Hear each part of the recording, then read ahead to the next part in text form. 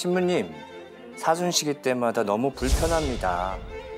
억지로 우리가 죄인이 되는 기분이 듭니다.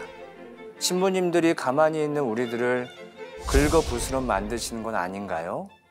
저는 다른 신부님들과 조금은 다르게 대리 운전을 해보았습니다. 부자만을 위한 집이 아니라 권력이 있는 사람들만의 집이 아니라 아무것도 가지지 않아도 보잘 것 없는 누구라도 기도할 수 있고 모두에게 열려 있는 곳.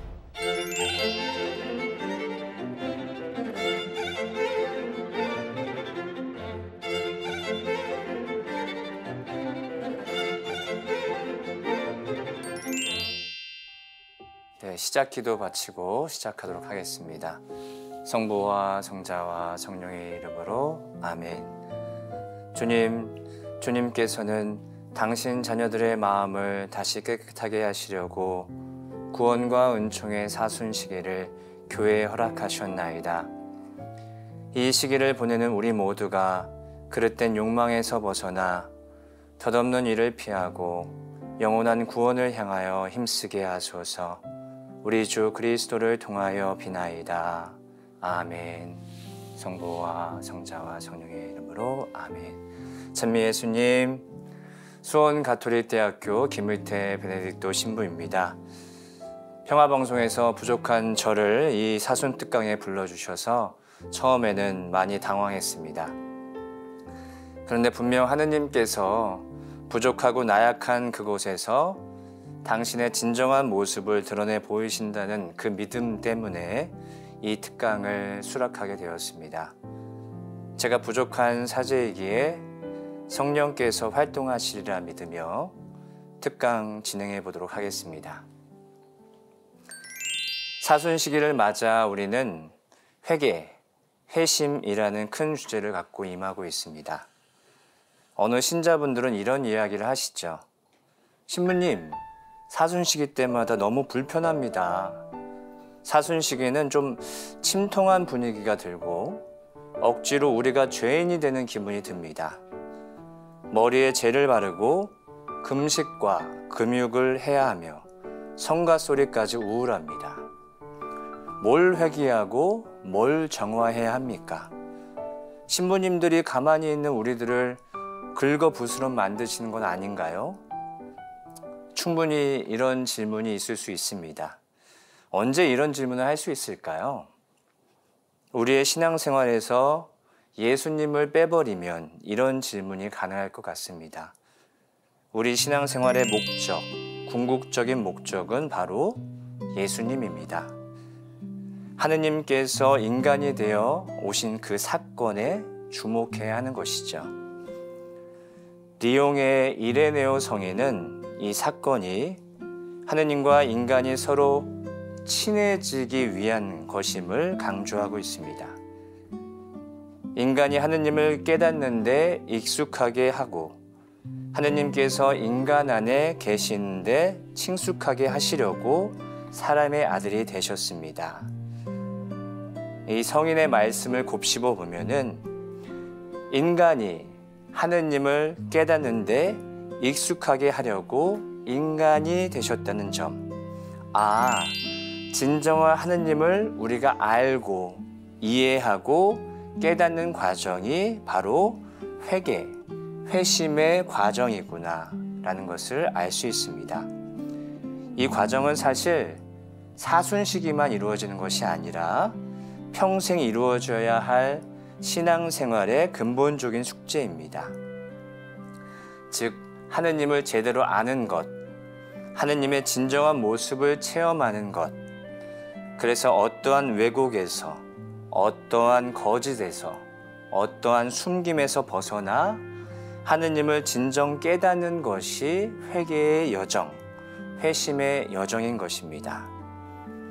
그래서 사순식이 우리가 지녀야 할 첫 번째 태도는 억지로 침통해 하고 눈물을 흘리며 그분의 고통과 순환을 당연한 듯 동참하는 것이 아니라 하느님은 누구이며 예수님은 왜 이렇게 우리에게 인간으로 오셨는지를 제대로 제대로 인식하는 태도가 우선 되어야 하겠습니다.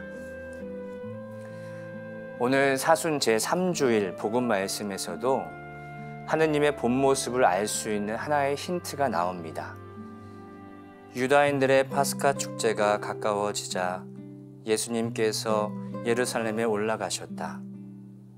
그리고 성전에 소와 양과 비둘기를 파는 자들과 환전꾼들이 앉아 있는 것을 보시고 끈으로 채찍을 만들어 양과 소와 함께 그들을 모두 성전에서 쫓아내셨다. 또 환전상들의 돈을 쏟아버리시고 탁자들을 엎어버리셨다. 비둘기를 파는 자들에게는 이것들을 여기에서 치워라. 내 아버지의 집을 장사하는 집으로 만들지 마라 하고 이르셨다. 그러자 제자들은 당신 집에 대한 열정이 저를 집어삼킬 것입니다. 라고 성경에 기록된 말씀이 생각났다.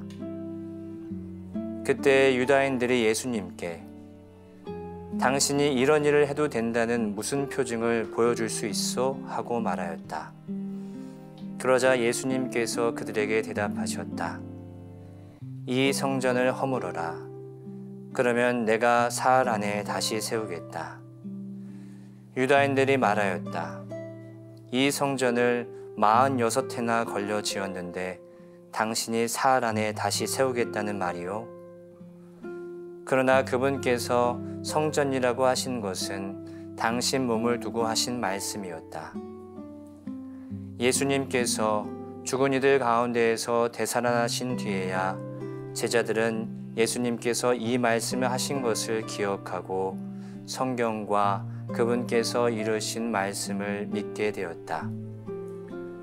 파스카 축제 때에 예수님께서 예루살렘에 계시는 동안 많은 사람이 그분께서 일으키신 표징들을 보고 그분의 이름을 믿었다. 그러나 예수님께서는 그들을 신뢰하지 않으셨다. 그분께서 모든 사람을 다 알고 계셨기 때문이다. 그분께는 사람에 관하여 누가 증언해 드릴 필요가 없었다. 사실 예수님께서는 사람 속에 들어있는 것까지 알고 계셨다.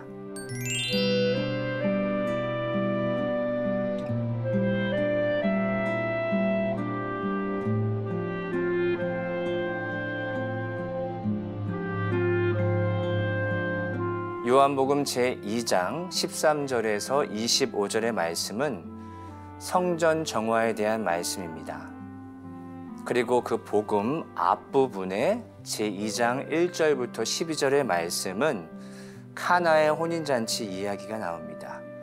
신기하게도 이 두 가지 복음 말씀에서 예수님께서는 납득하기 어려운 상황들 때문에 화가 난 행동과 말씀을 하십니다. 혼인잔치에서는 여인이시여 저에게 무엇을 바라십니까? 아직 저의 때가 오지 않았습니다.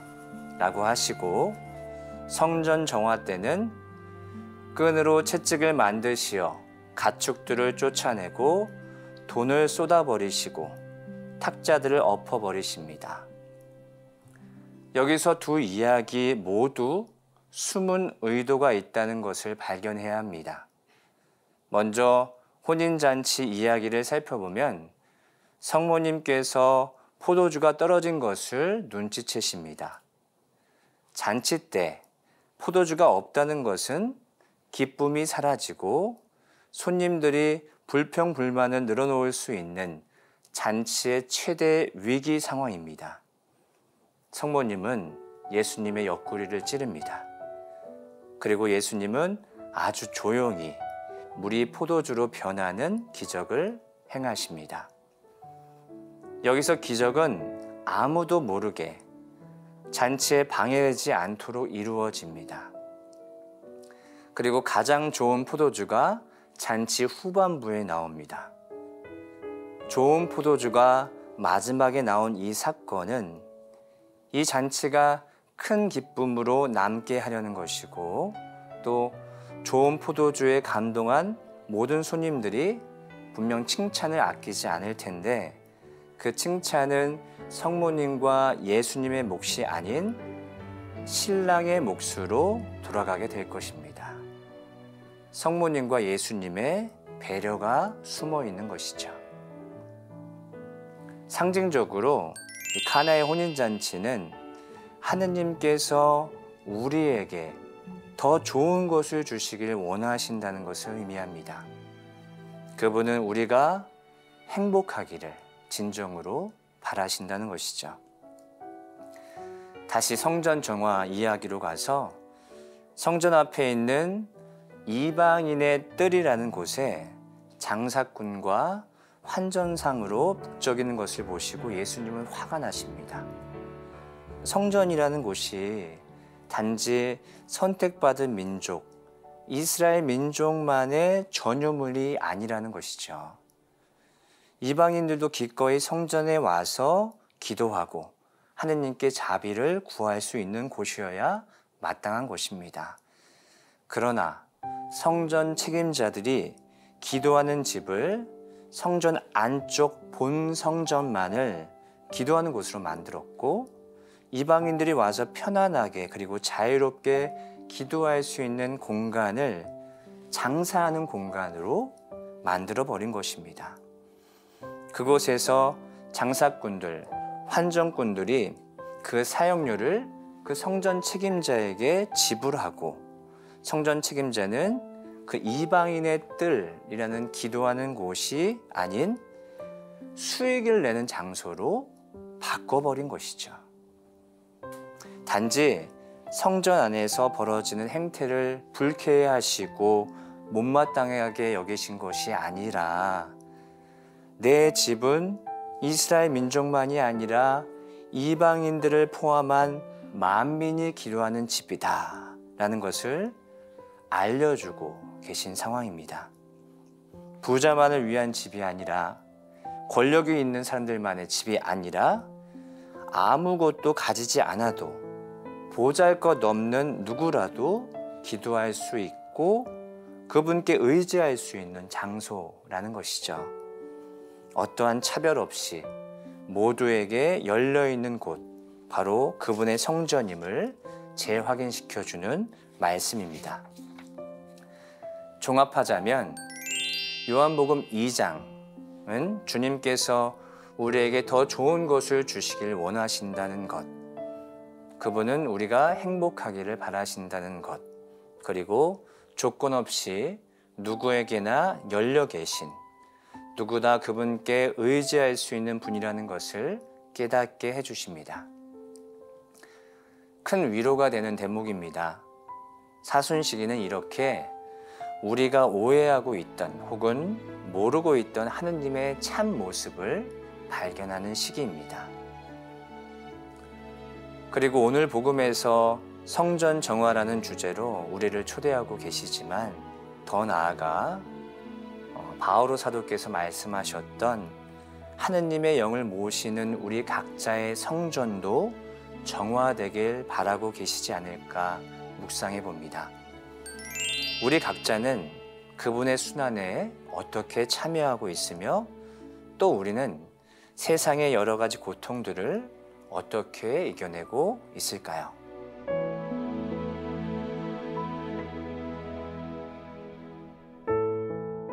네, 개인적인 체험을 공유하고 싶습니다. 제가 작년까지 수원신학교에서 학생들의 사목실습 담당하는 신부로 재직하고 있었습니다. 1년간 학생들의 사회노동 체험, 사회복지 실습, 해외 선교 체험, 공소사목 실습에 함께 동반하면서 어, 정말 많은 곳에서 하느님의 뜻을 전하고 하느님의 일을 하시는 분들을 만나게 되었습니다.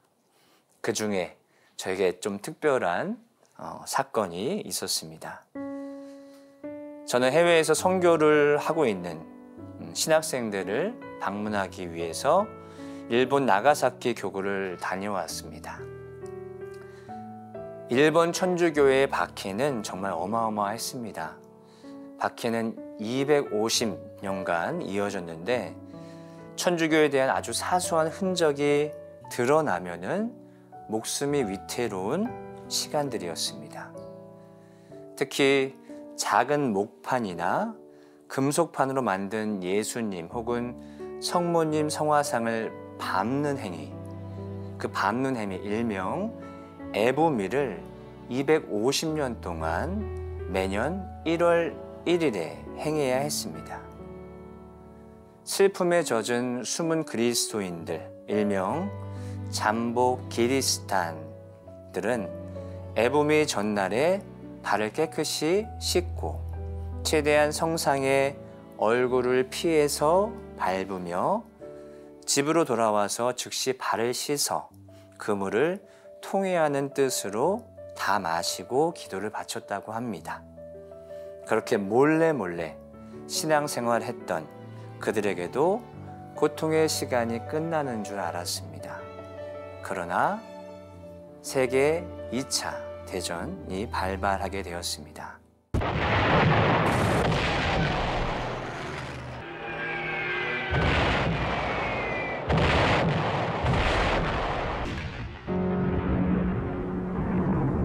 일본에서 원자 폭탄이 두 곳에 떨어집니다. 우리가 잘 알고 있는 히로시마와 그리고 나가사키에 떨어집니다.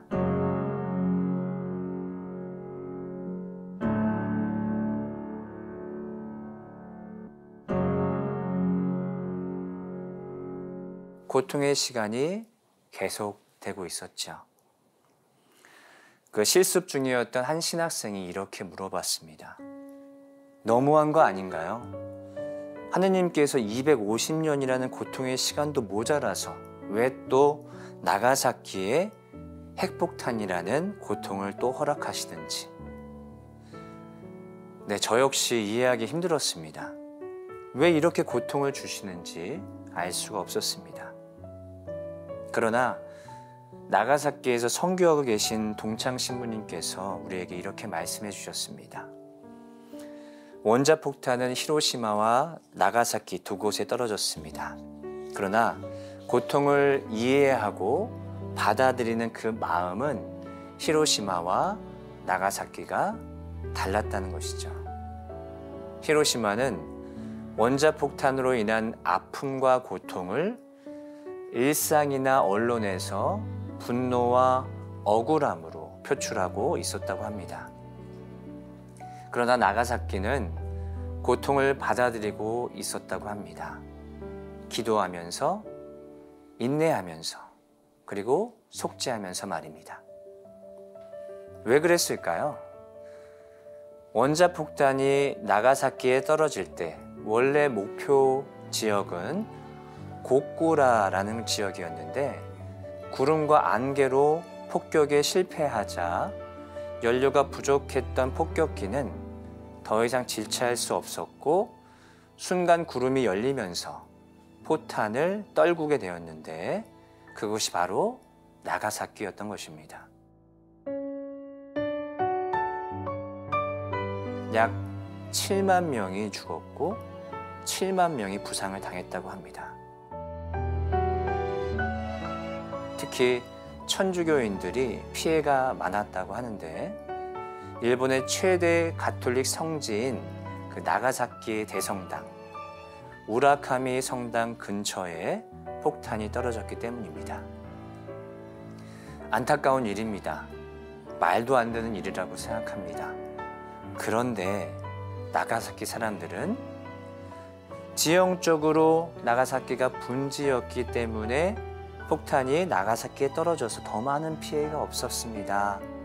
그리고 나가사키 신자들은 세상의 죄를 천주교 신자들이 대속하는 것이라고 믿었습니다.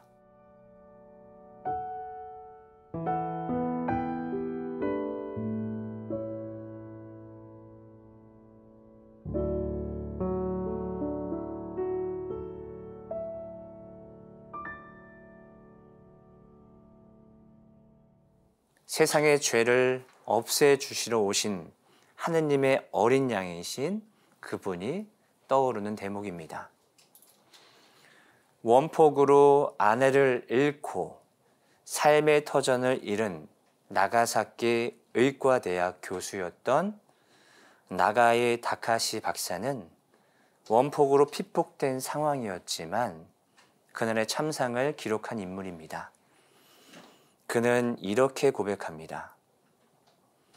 그 활기 넘치던 동네를 거대한 화장터로 만들고 묘지로 바꾼 것은 누군가? 우리들이다. 칼로 일어서는 자는 칼로 망한다. 라는 교훈을 아무렇지 않게 흘려듣고 열심히 군함을 만들고 어뢰를 만들었던 우리 시민들이다. 아름다웠던 나가사키를 이런 잿빛 언덕으로 바꾼 것은 누구인가? 우리들이다. 어리석은 전쟁을 일으킨 것은 우리들 자신인 것이다. 세계를 집어삼키려 했던 그 끔찍한 욕망이 참담한 현실로 만들어졌습니다. 그 참담한 현실을 이해하고 납득하기 어렵지만 조금씩 조금씩 내 탓이요, 내 탓이요, 내 큰 탓이라고 이해하던 나가사키 신자들. 박사님은 부족한 우리 자신들을 위해 이렇게 기도했습니다. 서로 용서하자. 서로 불완전한 사람이니까. 서로 사랑하자. 서로 외로운 사람이니까. 싸움이나 투쟁이나 전쟁이나 남는 것은 후회뿐이다. 고통을 이해하는 것, 예수님의 순환을 이해하는 그 첫걸음은 어쩌면 우리의 가슴을 먼저 치며 참회하는 그 순간부터가 아닐까 묵상해 봅니다. 잠시 분위기 전환을 해야 될 필요가 있는 것 같습니다. 부족하고 나약한 인간이기에 도움이 필요하고 누군가에게 의지하며 살아가야 할 인간이지요. 그래서 노래 하나를 준비했습니다.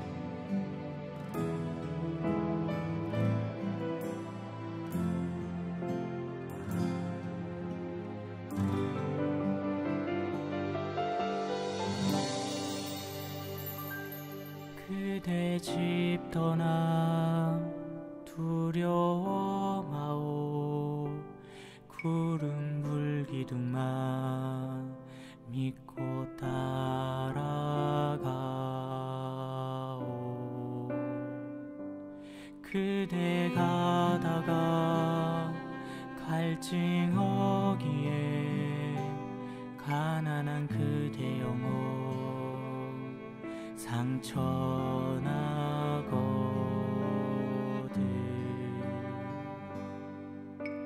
높이 달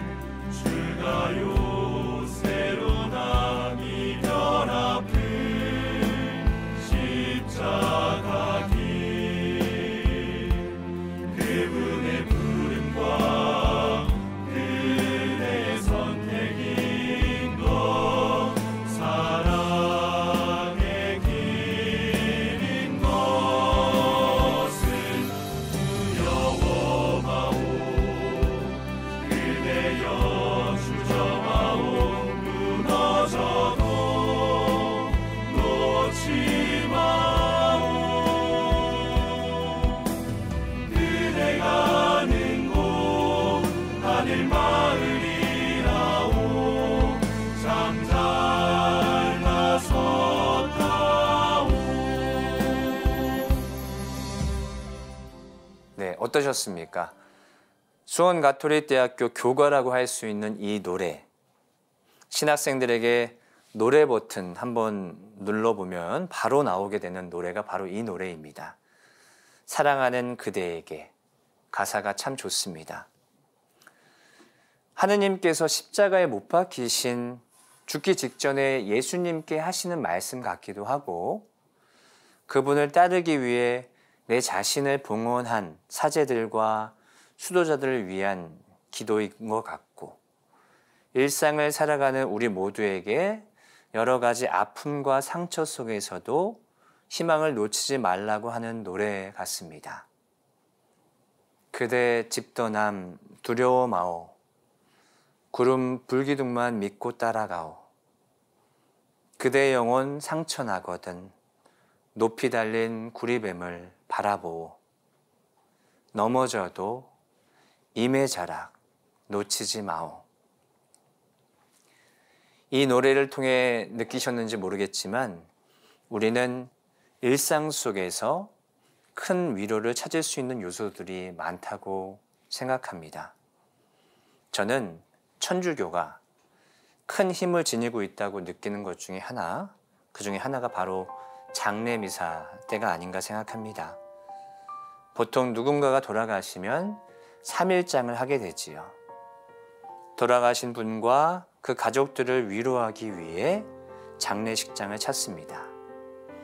그런데 천주교 신자들은 돌아가신 분이 누군지도 모르는데 또 가족들조차 일면식도 없는 사람임에도 불구하고 그 장례식장에 연령회가 출동합니다.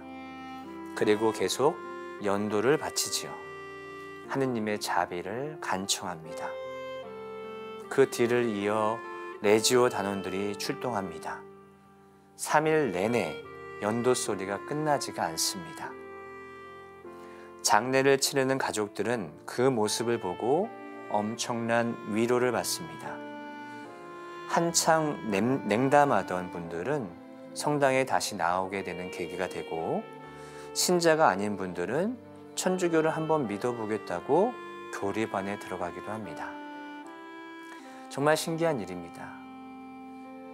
또 수원교구는 신부님이 돌아가시면 교구에 있는 모든 본당 신자들이 참석할 수 있도록 장례 스케줄을 마련합니다.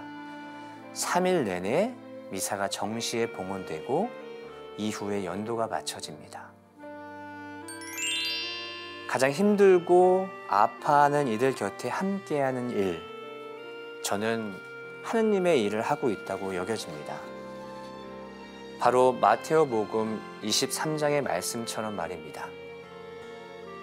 주님, 저희가 언제 주님께서 굶주리신 것을 보고 먹을 것을 드렸고 목마르신 것을 보고 마실 것을 드렸습니까? 주님께서는 너희가 내 형제들인 이 가장 작은 이들 가운데 한 사람에게 해준 것이 바로 나에게 해준 것이다 라고 하셨습니다. 위로, 이 위로라는 단어는 라틴어로 꼰솔라시오라고 합니다. 꼰과 솔라시오가 합쳐진 말입니다. 꼰은 영어로 with와 같아서 위로라는 것이 혼자 있는 것이 아니라 누군가와 함께 있는 것, 즉 누군가와 함께 위로를 받는 의미를 담고 있습니다. 하느님께서 인간이 되시어 우리와 함께 계신 것도 하나의 큰 위로인 것이고 우리도 누군가의 손을 잡아주는 일도 위로를 주는 일이기 때문에 분명 하느님의 일을 하는 것이라고 믿습니다. 네, 또 여기서 개인적인 체험을 이야기하고 싶습니다. 저도 부족하지만 어, 신자들의 삶의 현장에 깊숙이 들어가고 싶은 마음에 새로운 도전을 하게 되었습니다.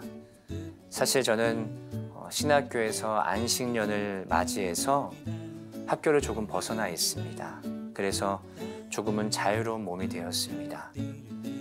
과거 안식년을 하시는 신부님들을 보면 신자들의 노고를 직접 체험해 보겠다라는 취지로 환경미화원도 하시고 개인 택시도 하셨다라는 이야기를 들었습니다.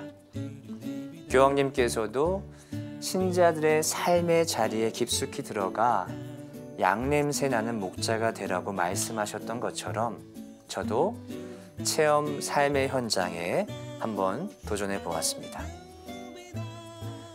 저는 다른 신부님들과 조금은 다르게 특이한 도전을 해보았습니다. 바로 대리 운전을 해보았습니다. 많이 해본 것은 아닙니다. 지금까지 한 20번 정도 운전을 해보았습니다. 그래서 신자들의 마음을 100% 이해한다라고 말할 수 없습니다. 아주 민망한 수준입니다. 그러나 느끼는 바는 분명 있습니다. 먼저 외롭습니다. 운전하는 동안 아무 말도 하지 않고 그냥 내비게이션과 앞만 보고 갑니다. 고객님이 말을 걸어주시면 답을 하긴 하지만 제가 먼저 말을 걸지는 않습니다. 고객님께 불편을 드릴 수 있다는 생각 때문이지요. 그래서 외롭습니다. 그리고 운전을 하고 내리면 전혀 모르는 곳에 도착합니다. 또 아파트 지하 주차장에 세워 드리면 저는 아파트 건물 안쪽으로 이렇게 들어갈 수 있는 권한이 없기 때문에 차가 들어간 그 입구로 다시 걸어서 나와야 합니다. 아, 묘한 감정이 들더라고요.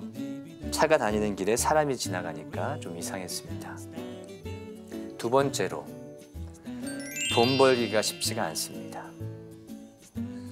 거리마다 그리고 어, 시간마다 대리운전 금액이 다르긴 하지만 보통 1회 한 15,000원에서 25,000원 정도 금액을 받습니다.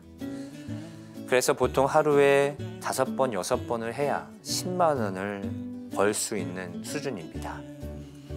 한 번 대리운전하면 전혀 모르는 곳에 도착하기 때문에 다시 운전을 하려면 대중교통을 이용해서 다시 시내로 들어와야 합니다.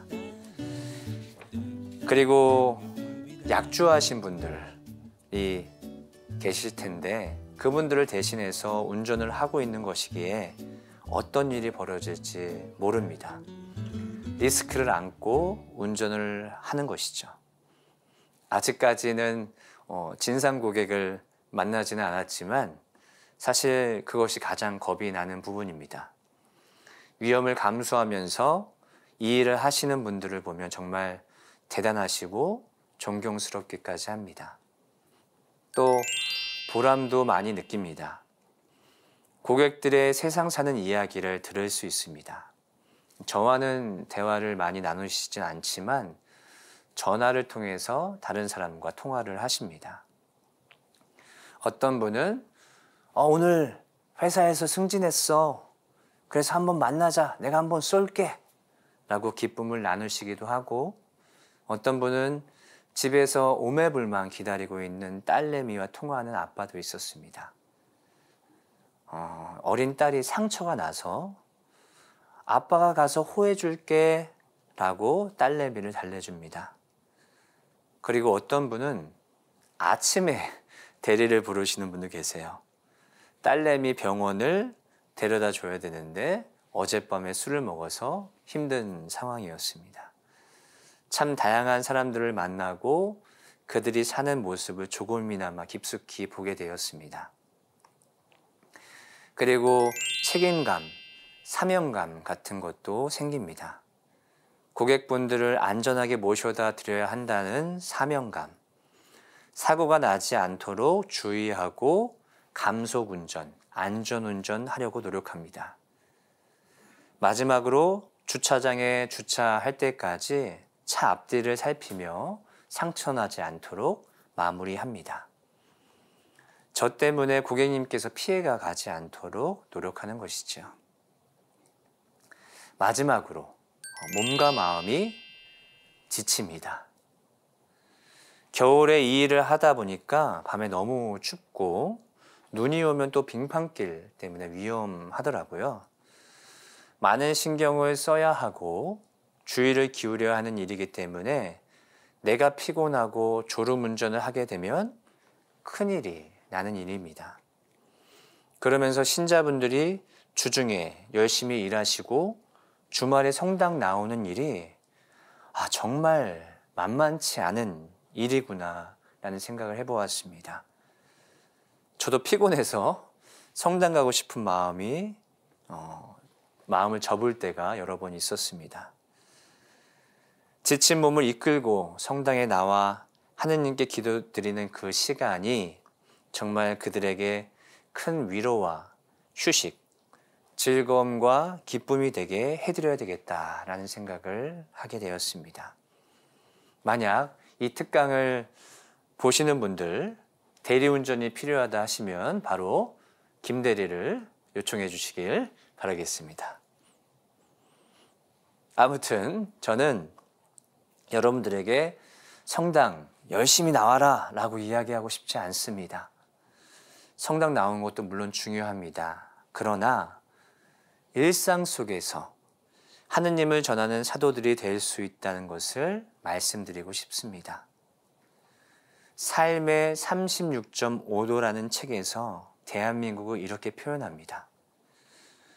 부귀 영화를 누리겠다는 것도 아니고 그저 사람답게 평범하게 살고 싶은 것 뿐인데 이마저도 무척이나 힘든 세상이 되었다. 평범한 가정에서 자라나서 평범한 교육을 받고 평범한 대학을 나와도 큰 어려움이 없이 취업하고 훗날 아기자기한 가정을 이룰 수 있는 삶이 바로 우리의 정상 체온인 36.5도의 삶인데 대한민국이라는 이 땅에서는 이마저도 어려운 일이 되었다. 평범한 사람들 입장에서 보면은 희망도 보이지 않고 우울한 하루의 연속이지만 우리가 무엇 때문에 이 어려운 현실 속에서도 희망의 빛을 볼 수 있는 것일까요? 이 책의 작가는 평범하게 살아가는 삶 속에서 등장하는 소위 작은 영웅들 때문이라고 소개하고 있습니다. 세상을 크게 바꾸는 것도 아니고 특별한 분야에서 두각을 나타내는 것도 아니지만 자기 삶의 자리에서 선한 행동으로 이웃들의 마음을 따뜻하게 만드는 사람들 또 어느 누구도 시키지 않은 일에 위험을 무릅쓰고 다른 사람들을 위해 희생하는 사람들 어느 누구도 하고 싶지 않은 일을 도맡아 하는 사람들 대단해 보이지는 않지만 많은 이들에게 행복감을 안겨주는 사람들. 눈에 잘 보이지 않지만 우리 사회의 작은 불씨가 되어주는 사람들이 있어서 희망이 있다는 것입니다. 저는 이런 영웅들이 우리 그리스도인들이 되어야 된다고 생각합니다. 그저 평범한 일상 속에서 도움이 필요한 이들에게 손을 내밀어 주는 일. 어느 공동체에 있든 선한 영향을 주려고 하는 그 마음과 노력. 본인 자신도 챙기기 힘든 세상에 남을 위해 희생하려는 사람들. 곰곰이 생각해 보면 그리스도인들은 이런 영웅들이 되어야 하는 것이 아닐까 생각해 봅니다. 마지막으로 제가 어, 전국 법원 모임에 다녀왔었는데 방주 대교구 어, 옥현진 주교님께서 하신 말씀이 기억에 남습니다. 바로 허밍웨이의 법칙인데요. 어느 심리학 교수가 학생들에게 풍선을 하나씩 나누어 주며 그 풍선 속에 자신의 이름을 써 놓고 바람을 불어서 빵빵하게 치워서 천장에 날게끔 했다고 합니다. 한참이 지난 다음 교수님은 5분 안에 자신의 이름이 들어있는 풍선을 찾아보라고 했습니다. 학생들은 자신의 풍선을 찾기 위해서 서로 부딪히고 서로 밀치며 교시, 교실은 아예 아수, 아수라장이 되어버렸습니다. 5분이 지났지만 자신의 이름이 들어있는 풍선을 찾은 사람은 단 한 명도 없었습니다. 이번에는 교수님이 반대로 아무 풍선이나 잡아 거기 넣어, 넣어둔 이름을 보고 그 주인을 찾아주도록 했습니다. 순식간에 서로는 다른 이들의 이름을 찾아주었고 모두 자신의 것까지 찾게 되었습니다. 나만의 행복을 필사적으로 찾는다면 그 행복마저도 놓쳐버릴 수 있다는 교훈을 줍니다. 그러나 우리가 다른 사람의 행복을 위해 먼저 노력한다면 모두의 행복을 찾을 수 있고 나의 행복도 찾을 수 있다는 것. 나를 위한 삶이 아닌 남을 위한 삶이 행복하다고 느낄 때 분명 여러분들은 성숙한 그리스도인이라고 말할 수 있을 것 같습니다.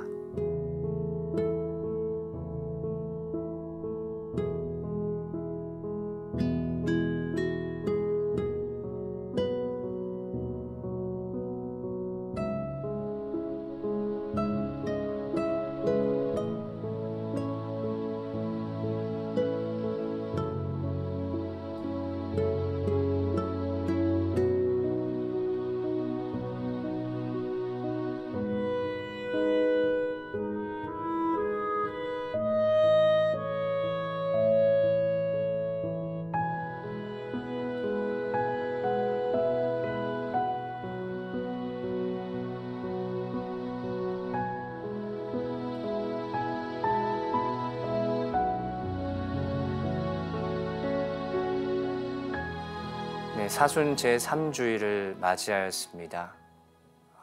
성전 정화를 통해서 하느님과 내, 나와의 사이가 더욱더 가까워지고 더욱더 깨끗해지고 나보다는 남을 위해서 살아가는 사순식이 되시길 바라겠습니다. 마침 기도로 영광성 함께 하시겠습니다. 성부와 성자와 성령의 이름으로 아멘. 영광이 성부와 성자와 성령께 처음과 같이 이제와 항상 영원히 아멘. 성부와 성자와 성령의 이름으로 아멘. 감사합니다.